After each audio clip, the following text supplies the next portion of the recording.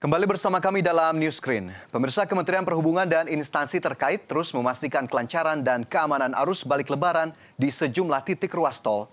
Berdasarkan data Korlantas Polri, 55 persen kendaraan yang melakukan mudik lebaran belum kembali ke Jakarta.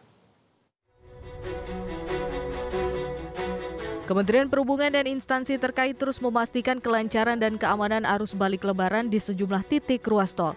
Menteri Perhubungan Budi Karya Sumadi mengakui meski jumlah pemudik tahun ini naik 20 persen dibandingkan tahun sebelumnya, namun rata-rata kecepatan kendaraan meningkat dari 69 km per jam menjadi 71 km per jam. Meski demikian, Menhub memastikan akan terus melakukan perbaikan dan melakukan langkah strategis dalam menghadapi gelombang kedua puncak arus balik yang diprediksi terjadi pada 30 April hingga 1 Mei 2023.